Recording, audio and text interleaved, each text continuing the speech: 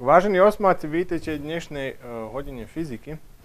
Uh, volám sa Vlasto Petráš a na tejto poslednej hodine fyziky počas tohto uh, diaľkového učenia budeme spracovať, uh, budeme spracovať učivo, ktoré má náslov Umelá radioaktivita, uplatnenie jadrovej energie a žiarenia. Ale skôr ako čo začneme, trošku si zopakujeme, čo sme to spomínali na predošlej hodine, nie? A na predošlej hodine sme spomínali elektróny, protóny a neutróny, že oni vytvárajú atómy, je tak? A sú to aj elementárne častice. Potom sme povedali, že poradové číslo, ktoré označujeme písmenom Z, určuje počet elektrónov a protónov v atóme, pokiaľ hmotnostné číslo, ktoré budeme označovať veľkým písmenom A, určuje nám počet protónov a neutrónov v v jadre atómu. Naďalej, povedali sme, že izotopy sú uh, chemické prvky, ktoré majú rovnaký počet uh, protónov v jadre, ale rozličný počet neutrónov. Potom sme spomínali, že radioaktívne žiarenie je dej, v ktorom určité e, jadra atómov vysievajú neviditeľné žiarenie. Uviedli sme tri e, druhy tohto žiarenia, alfa, beta, gamma žiarenie, niekedy sa oni nazývajú aj lúče. A povedali sme, že, toto, že sú tieto tri druhy žiarenia niečo nazývame prírodné, prírodná radioaktivita. Dnes budeme hovoriť o umelej radioaktivite. A prvá, uh, prvá taká radioaktivita umelá nazýva sa físia. Čo je físia? Físia predstavuje dej, v ktorom dochádza k štiepaniu, štiepaniu jadra atómu. V prírode sa ona veľmi zriedkavo uh, uh, stáva, ale môže sa na nejaký umelý spôsob e, vyvolať. Na ten spôsob, že jeden neutrón zoberieme a e, vypálime ho takto do jedného jadra ťažkého prvku. Znamená, máme nejaké ťažké jadro, do ňoho e, e, vypálime tento projektil, vlastne tento neutrón, a čo sa stáva? Keď, keď vôjde ten e, neutrón do toho jadra, ono sa stane nestabilné, a vidíme, rozdelí sa na dve ľahšie jadra. Tie jadra približne majú dvakrát menšiu hmotnosť, ale nemusí byť od tohto ťažšieho jadra. A ešte z toho ťažkého jadra pri tom štiepaní vidíme vyšli niekoľko neutrónov, v tomto prípade vyšli e, dva. A ešte sa tu zjavuje aj energia, štiepania alebo fízie. Táto energia, ktorá sa uvoľňuje pri štiepaní jadra, môže byť aj e, viac ako 20 krát väčší od energii, ktorá sa zjavuje pri e, alfa, beta alebo gamma rozpade a povedzme aj viac ako milión krát väčšia energia, ktorá sa prejavuje pri e, klasických chemických reakciách. Tieto rozpady, vlastne toto štiepanie, e, môžeme predstaviť niečo ako čo ste na chémii predstavovali chemické reakcie, tak štiepanie môžeme predstaviť napríklad takouto jednou reakciou. Povedzme, fízia nastáva pri štiepaní jadra urána, keď ho bombardujeme s jedným neutrónom. Ono sa nám rozdelí na takto na dve jadra, ktoré majú e, vidíme dvakrát menšiu hmotnosť, to sú jadra céziuma a rubídiuma. A ešte z jadra potom vyletia dva neutróny. Znamená, to by bol príklad takéhoto jedného štiepania jadra. Keď hovoríme o štiepaní jadra alebo físii, významný je tzv. tzv. reťazová reakcia. Čo je reťazová reakcia? To je bol jeden dej, kde rozpad, e, vlastne štiepanie jedného jadra vyvoláva štiepanie nasledovných jadier. No nech vidíme. Znamená, máme tu nejaké začiatočné jadro, ktoré budeme bombardovať týmto neutrónom. Čo sa stane? Znamená, keď ten neutrón vôjde do tohto jadra, znamená, ono sa stane nestabilné a rozštiepí sa. A ako sme videli, z toho jadra vylečili ešte tri neutróny a tie sa e, stokli s ďalšími e, tromi jadrami nejakého prvku. Pod vplyvom tých neutrónov aj tie jadra sa rozštiepili a vidíme, že každé z nich vytvorilo ešte tri neutróny, ktoré sa ďalej stokli s následovnými, e, s následovnými jadrami nejakého prvku, aj oni sa pritom rozštiepili. Znamená, vidíme, že sa počet e, jadier rozštiepených a počet neutrónov pri reťazovej reakcii zväčšuje. E, Tesky, hovorím o tejto reťazovej reakcii, tento počet roz, rozštiepených jadier a e, neutrónov, ktoré sa pritom zjavujú, môžeme na nejaký spôsob kontrolovať. Taká reťazová reakcia sa potom nazýva kontrolovaná reťazová reakcia. Ak ten dej štiepania tých jadier a uvoľňovania energia a neutrónov nemôžeme kontrolovať, nie, nie je kontrola, tak sa, taká, ta, tak sa taký jav nazýva nekontrolovaná reťazová reakcia. Nech vidíme, kde sa zjavuje tá kontrolovaná reťazová reakcia. Ona sa obvykle odohráva v nukleárnych reaktoroch, ktoré používame v nukleárnych elektrárniach pre, e, pre vytváranie, vyrábanie elektrického prúdu. V podstate nukleárna elektráreň e, e, pracuje na podobný spôsob ako e, termoelektrárne, znamená jedna i druhá vyrábajú e, vodnú paru, ktorá poháňa turbíny, čo je inakšie. Iný je len zdroj, ktorý zohrieva vodu, znamená pri, nuk, pri e, termoelektrárni vodu zohrieva e, horenie uhlia, pokiaľ v nukleárnej elektrárni e, zohrievanie vody vyvolávajú vyvoláva físia.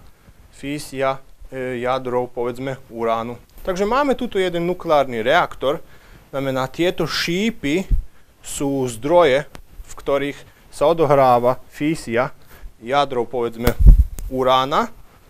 Tieto čierne šípy kontrolujú, koľko tých jadier sa štiepa. Vlastne oni e, pohúcujú neutróny a tým spôsobom e, ohraničujú, koľko jadier sa bude štiepať. Znamená, tým pádom je tá uh, reťazová reakcia kontrolovaná. Znamená, tým rozpadovaním tieto červené šípy uránu, povedzme, sa hrejú, zohrievajú túto vodu, natoľko ju zohrejú, že sa ona premení na paru a ona cestuje a v, e, pohybuje sa tuto do následovnej nejakej nádrži, kde hreje následovnú vrstvu vody, toľko ju zohreje, že sa aj tá premení na paru a potom tá para cestuje do týchto turbínov pod vplyvom e, tej vodnej pary tie turbíny sa otáčajú, aj tuto potom tie turbíny naderej pohýnajú tento generátor a ten generátor nám potom vyrába elektrický prúd. Naderej tú vodnú paru na nejaký spôsob rozchádzame s nejakým vonkajším zdrojom chladnej vody a tá pára sa znovu premení na vodu a vracia sa sem znovu na zohrievanie. To je bol nejaký proces, na ktorý e, funguje e, jedna nukleárna elektráreň. Nefungujú všetky na tento spôsob, ale povedzme, že by toto bol nejaký model klasický. Dobre. Keď ide o nekontrolovanú reťazovú reakciu, ako sme povedali, na v nej nemôžeme, nie že nemôžeme, ale nechceme jednoducho e, kontrolovať počet neutrónov, ktoré sa vydvoja v rozpade, v rozpade jadier, vlastne v štiepaní jadier. A čo sa stáva? V, jednom krátkom intervále e, veľký počet jadier sa rozštiepi, tým pádom sa vyslobodí v jednom krátkom intervále ohromná energia, aj nastav niečo, čo nazývame jadrová bomba, alebo atomová bomba, alebo nukleárna bomba, už ako je to rôzne názvy pre túto, pre túto vec. No. Znamená, kontrolovaná, kontrolovaná reťazová reakcia nastáva nám v nukleárnych reaktoroch, nekontrolovaná sa zjavuje v atomovej bombe alebo jadrovej bombe. Druhý e, dej umelej radioaktivity je napríklad fúzia. Fúzia je opačný proces od fízii. Je to dej, v ktorom sa dve alebo viac jadre, jadier spája do jedného jadra. Napríklad máme tu nejaké dve jadra, zrýchlime ich, keď sa stoknú, z, z tých dvoch jadier nastane jedno. A samozrejme ešte sa potom z toho nového jadra uvoľní ešte nejaká elementárna častica i samozrejme vytvorí sa e, energija podobná množstvo tej energie, ktoré sa aj vo fúzii uvoľní, má podobnú hodnotu ako tá, ktorá sa uvoľní pri e, fízii. No a tuto máme opačný proces. Znamená z dvoch ľahších jadier nastáva jedno ťažšie jadro. To by sme e, zhruba mohli povedať, že je fúzia. Napríklad e, jeden príklad fúzii by bol povedzme deutérium, keď sa stokne s tríciumom, nastane jadro heliumu a ešte potom z toho jadra vylietne jeden neutrón ako zvyšok. To je tento tu neutrón, ja som mu nedal meno popod. Dobre. Kde sa stretávame s fúziou? Napríklad fúzia je základný zdroj energie v hviezdach, samým tým aj v našom slnku. Znamená, túto energiu, ktorú každodenne dostávame zo slnka, e, nastáva fúziou v samom slnku. Aj všetky hviezdy na ten spôsob fungujú. Znamená, vieme, že slnko je v podstate druh hviezdy. Naďalej, fúziu budeme v budúcnosti stretávať v tzv. fúzionných reaktoroch. Znamená, v terajších reaktoroch nastáva físia, štiepanie jadier a v budúcnosti budeme mať e, reaktory, v ktorých sa jadra budú vzájomne stokať a v tom stokaní nastanú ťažšie jadra a pritom sa bude uvoľňovať energia. Tá, tú energiu budeme využívať na nejaké procesy, ako čo je napríklad dostávanie elektrickej energie. Znamená, tu máme jeden, jeden model, ako by ten uh, fúziónny reaktor v budúcnosti mal vyzerať a vlastne tu už máme jeden model spravený. Znamená, táto technológia sa ešte nepoužíva, ale uh, je momentálne v rozvoji a bude sa používať povedzme za takých nejakých 20 rokov povedzme, že to bude jeden významný zdroj predovšetkým elektrickej energie. V podstate znamená okolo tohto tu válca sa majú zelektrizované častice alebo elementárne častice zrýchľovať, nastávajú zrážky a v tých zrážkach znamená nastávajú ťažšie, ťažšie jadra, pričom sa uvoľňuje nejaká energia. Na rozdiel od fízy, fúzie je tzv. čistá energia. Prečo?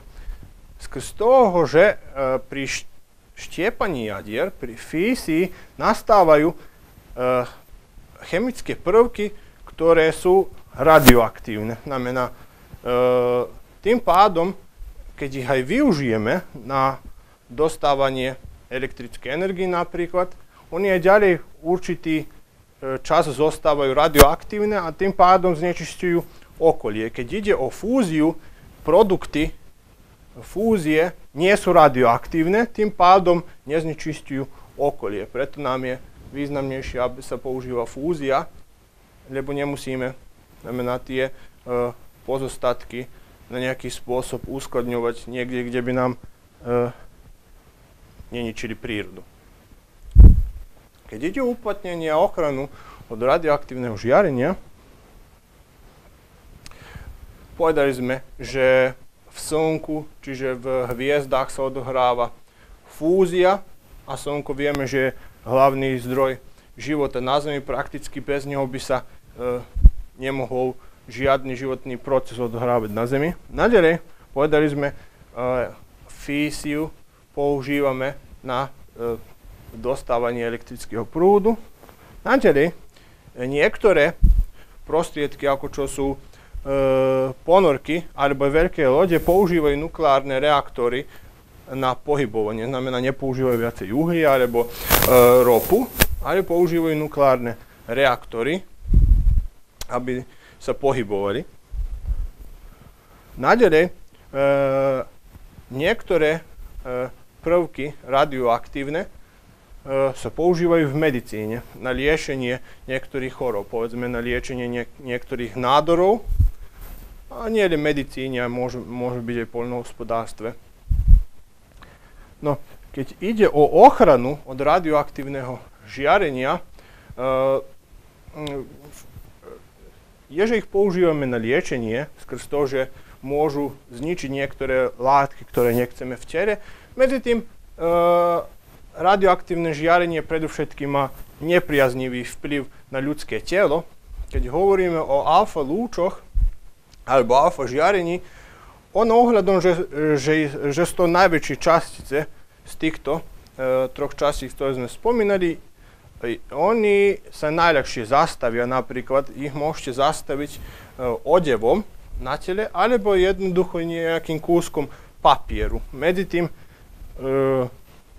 že ich môžete ľahko zastaviť, ale skrz toho, že ich ľahko zastavíte, na jednom mieste vyvolávajú veľké oškodenia, napríklad povrchové poškodenia na pokožky, alebo košky môžu vyvolať ako čo sú popáleniny.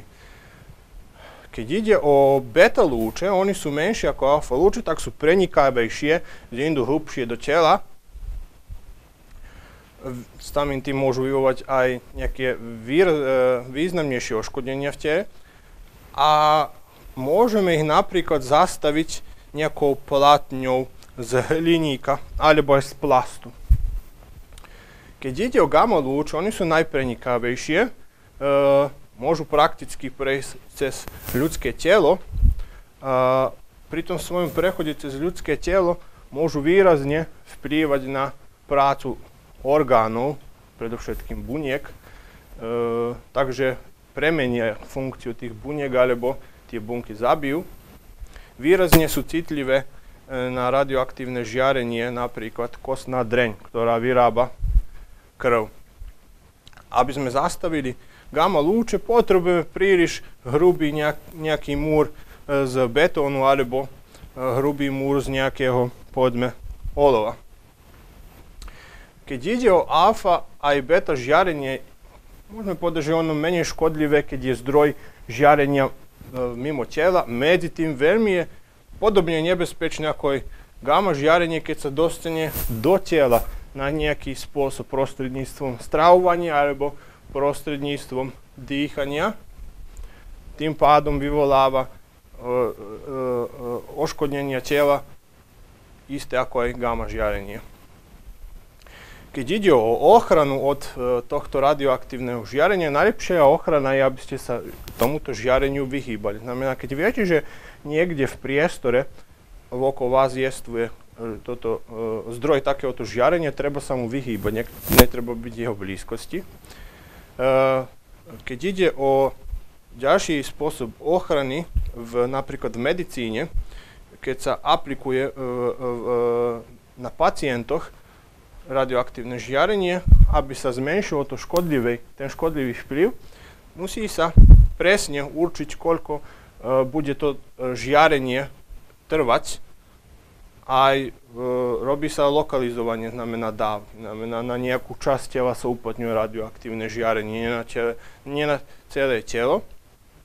Aj nakoniec e, treba vedieť správne uskladňovať radioaktívne žiarenie, napríklad to, ktoré sme využili v radioaktívnych, v nukleárnych reaktoroch. E, praxa je taká, že tie toho, e, radioaktívne žiarenie vlastne e, produkty e, z nukleárnych reaktorov, ktoré sú aj ďalej radioaktívne, odkladajú sa do baní, ktoré sa viacej nepoužívajú. Na ten spôsob znamená, že sú hlboko v zemi, nepôsobia na okolie. Je krátka rekapitulácia, čo sme tu dnes spomínali. Znamená, povedali sme, že físia je dej, dej v ktorom nastáva štiepanie jadra, znamená z jedného hmotnejšieho jadra nastávajú dve alebo viac e, ľahších e, jadier. Reťazová reakcia znamená jeden dej, v ktorom rozpad, vlastne štiepanie jedného jadra vyvoláva štiepanie následovných jadier. Fúzia je opačný proces od fízy, znamená je to dej, v ktorom z ľahších jadier nastávajú ťažšie jadra. Aj keď hovoríme o vplyvu radioaktívneho žiarenia musíme vedieť dobre spôsoby ochrany od tohto radioaktívneho žiarenia. A nakoniec pre túto hodinu pozrieme si jednu zaujímavú simuláciu, ako funguje reťazová reakcia v dvoch, spôs- e, v dvoch uh, systémoch, ktoré sme spomínali pri tejto, uh, na, týchto, na tejto dnešnej hodine. Tak, tak, tak máme tu jedno jadro, uránu 235, izotop uránu 235. A teraz ho budeme bombardovať s jedným neutrónom, ktorý vypálime odtiaľto. Na zatiaľ vidíme, že je ono príliš stabilné. A keď vypálime túto neutrón, vidíme, že sa ono stane nestabilným, aj sa rozdelí na, videli sme dve jadra a ešte tu potom vyleteli dva uh, neutróny. Ajde zopakujeme to ešte raz. Na jadro je príliš stabilné, keď vypálime ten neutrón, stane sa nestabilným a ideme rozdeliť sa na dve jadra, rozštiepi a ešte tam, tam vyleteli tri neutróny. No nech vidíme teraz reťazovú reakciu. Uh, a prečo nám toto? Musíme toto nulovať. Uh-huh. Áno. Znamená, máme tuto jedno jadro uránu 235, ale teraz okolo neho dodáme ešte niekoľko jadier. Povedzme 1,50. A teraz my vyvoláme rozpad len tohto jedného, takže vypálime tuto jeden neutrón. On sa rozštiepi a tie neutróny, ktoré nastali v jeho štiepaní, vidíme, zapričinili štiepanie veľkého počtu ostatných jadier, ale vidíme, že sa nerozpadli pri všetky. Povedzme teraz, že máme nejaký kontejner, v ktorom zbijeme tieto uh, jadra uránu. Znamená, dáme kontejner, trošku ho zväčšíme, aj do ňoho dáme veľký počet jadier uránu. Znamená, máme zbité jadra uránu izotopu 2, 3, 5. A čo sa teraz stane?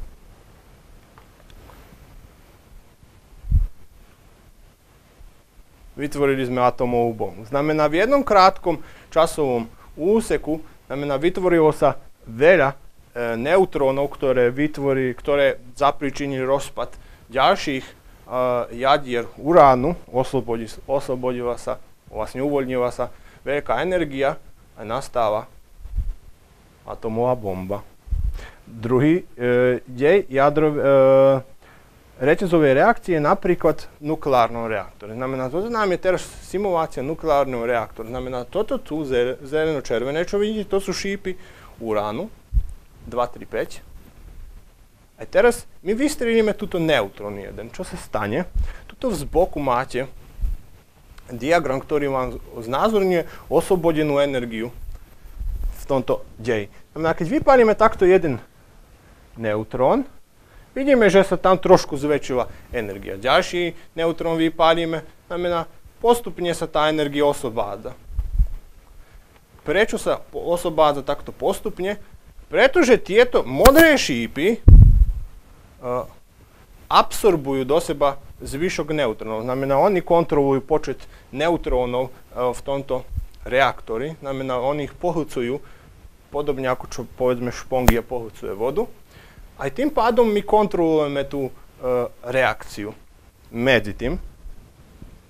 Ak obnovíme jadra, aj povedzme, vyťahneme tieto šípy, ktoré pohlcujú tieto neutróny.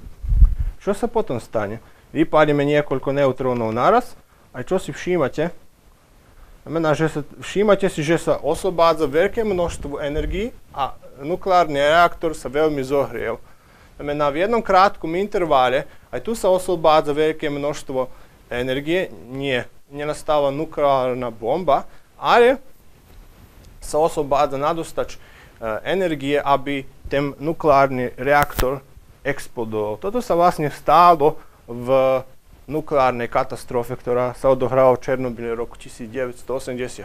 Znamená, vyťahli tieto šípy, ktoré pohlcujú, pohlcujú neutróny a nemohli kontrolovať reakciu. Oslobodilo sa veľké množstvo e, energie v, v krátkom intervale. Aj ten e, nukleárny reaktor explodoval. No tak, vážení žiaci, toto by bolo všetko, čo sme pripravili pred dnešnú hodinu, ale aj e, pre toto nakrúcanie počas tohto ďalkového učenia. E, ja vám prajem, aby ste čo úspešnejšie zakončili 8. ročník, aby ste čo úspešnejšie napísali tie záverečné skúšky, aby ste sa dostali do, ško- do strednej školy, ktorú si prajete. Do nejakej následovnej nejakého následovného stretnutia. Ja vás pozdravujem. Dovidenia.